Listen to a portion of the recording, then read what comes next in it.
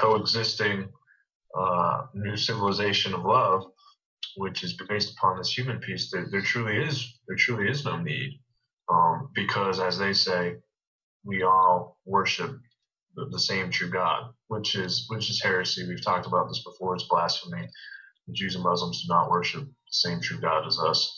And so that was the, the next point that I was basically covering is that the people are following blindly the masses, Pope included, in the Novus Ordo uh, hierarchy, uh, which is a part of this revolutionary process, which is ultimately going to culminate into an apostate church here very soon. We covered this last week, We're in a true anti-pope will unite all uh, religions via an invalid ex cathedra, and then literally, um, from the research I have uh, found that they will excommunicate those who do not partake in this. And, and truly, at that point, uh, there will be wide scale uh, persecution of those who actually are holding to Catholicism and, and even Protestants to, to a large degree too.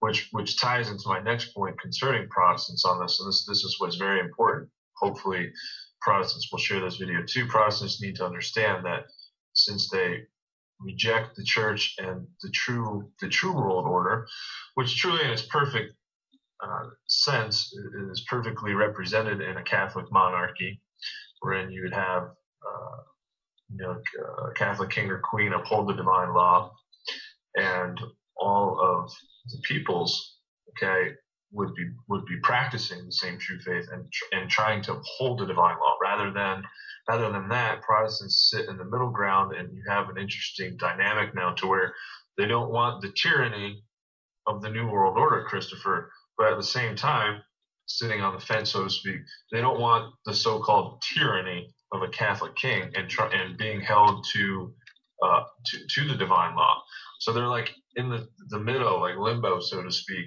to where they need to understand it's all or nothing with Christ. Okay, you're either for Christ, okay, and his Catholic Church, because if you reject his Catholic Church, you are directly rejecting Jesus Christ. And as the church teaches, uh, that, that's why Protestants, objectively speaking, do not share in heaven.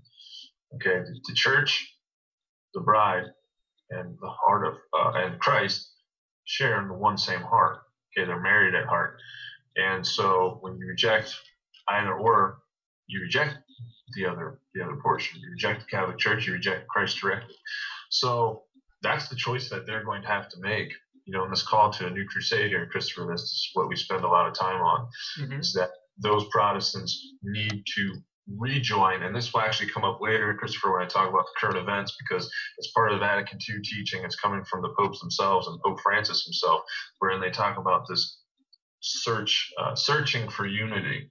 Okay, well, we're not searching for unity. We have unity in the Catholic Church, and we're praying, and we're suffering, we're offering up, uh, you know, reparations to the to the Sacred Heart, so that those who are separated from the bonds of true unity come back into the church. And so Protestants can't have it both ways. They can't say, well, I don't, we don't want the communist new world order and we don't want the Catholic. We just kind of want to sit in this limbo. So, and that's exactly what Protestants try to do. Mm-hmm. And so that, that's what I'm saying, Christopher, as we transition into this, this new era, the new true era, okay, of the Immaculate Heart of Mary, what Protestants need to know and understand is that Holy Christendom is going to, going to revive and they are going to have to choose okay, because there, there will be a figure called the Great Monarch who is not only not going to put up with uh, uh, the communists, he's not going to put up with the Protestants either. There's been numerous prophecies to where it is stated that essentially he will be the hand of God and that you're either going to be for the church and for Holy Christ or you're not. Right. I'm trying to say it in very a subtle way, but well, I think I think what, what Protestants have to realize though is that it, it's actually Protestantism that has led us to exactly. practical atheism has led us to um, a, you know this this democ- a democracy, this freedom of, of religion, this religious liberty. Um, it's all led, it's all brought us to this point, and um, and even you know popular talk show host says the the answer to to 1984 is 1776. Well, that's actually wrong. 1776 is actually what gave us this quote unquote 1984 um, totalitarian regime that we're, we're now going into. And really, in a sense, have been in. Um, you know, the, the, New World Order has really been around for a, while here. It's just been in stages. It's been being implemented, like you had said, like the the frog and the, and the boiling and the boiling water. But now we're really starting to see that the real face of it, the, the mask being torn off.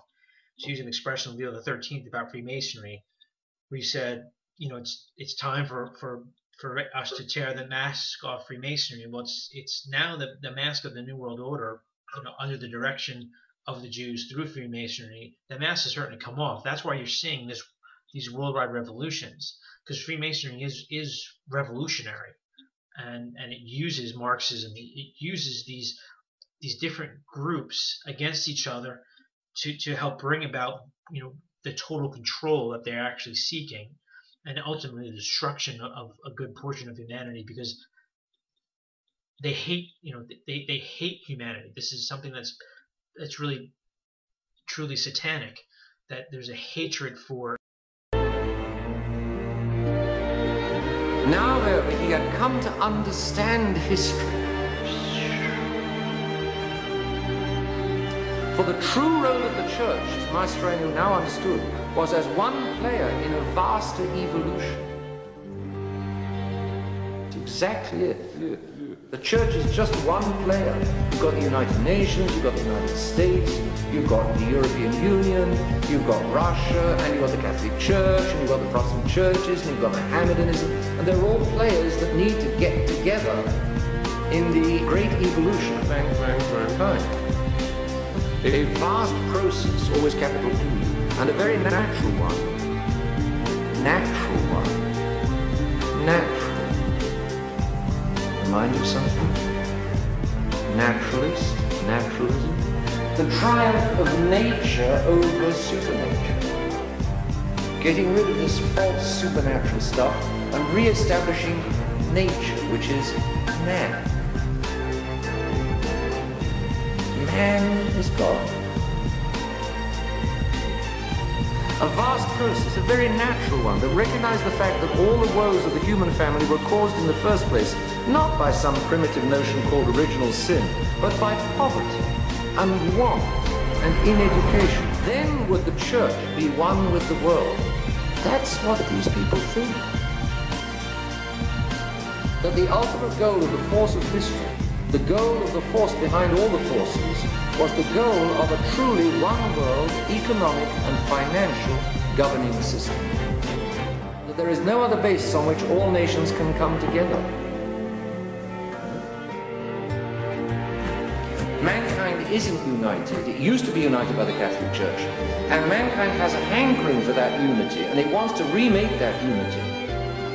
And you want to recreate a non-Catholic unity. These non-Catholics, they're wicked men, objectively. The organized sharing of the earth and its riches, that is the basis of all good in the world. This is the future, and this is what we've got to join in so that the church will then be part of the whole game at the end. Globalism, and then the Antichrist.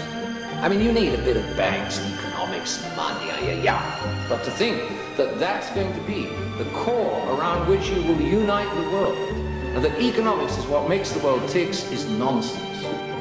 Economics isn't even secondary, it's tertiary. Politics is secondary, religion is crime. And these people are ultimately driven by an anti-religion. Because Europeans hanker for this unity, which they lost when they lost the faith. The family was being destroyed, the children being miseducated, natural sin being denied, all kinds of immorality breaking out the liberty, equality, and fraternity and the godless state, in which the naturalists lay down that all men have the same right and are in every respect of equal and like condition. Men are born equal before God, but in no other respect are they equal. They come from the same God, they have the same human nature, and they answer to the same God at the end of their lives, but that's the only way in which they're equal. Otherwise, they are unequal in color of eyes, color of hair, in weight, in intelligence, in sex, in race, in province, in region, in family, in everything else, they're unequal. Since peace depends upon men's hearts, then in order to establish peace, you've got to deal with sin. There's only one way to deal with sin, and that is the grace of our Lord Jesus Christ. Therefore, only the Catholic Church can give peace. And when the poor Holy Father goes around saying, let's just fix up the United Nations, let everybody join the United Nations, and that will give us world peace, he's off the wall. It's only the Catholic Church can give peace to the world. Because our Lord Jesus Christ is the Prince of Peace. And it's not the Secretary General of the United Nations who's the Prince of Peace. He's the tool of the One Worlders and the Freemasons. Because the United Nations is a thoroughly Masonic organization. It's absolutely part of the whole wicked game plan. And also the Protestants need to realize that they're so gung-ho in Israel, so many of them, of their false preachers talk about Israel, Israel, Israel, support Israel. Well, that's the Zionist state. And actually, I'll, pull up a video recently, uh, a couple months ago, of Joe Biden um, saying that the affirmative task that we have now is to create a new world order. And then also, he had said recently that he is a Zionist. A couple of times he said that. He says you don't have to be a Jew to be a Zionist. Well, what does he mean? Well, it's that has to do with, with Freemasonry. The affirmative task we have now is uh, is to actually um, create uh, uh, a new. Young Senator, I say, if I were a Jew, I'd be a Zionist. I am a Zionist. You don't have to be a Jew to be a Zionist. Well, those were some very eye-opening quotes from Vice President Joe Biden, weren't they?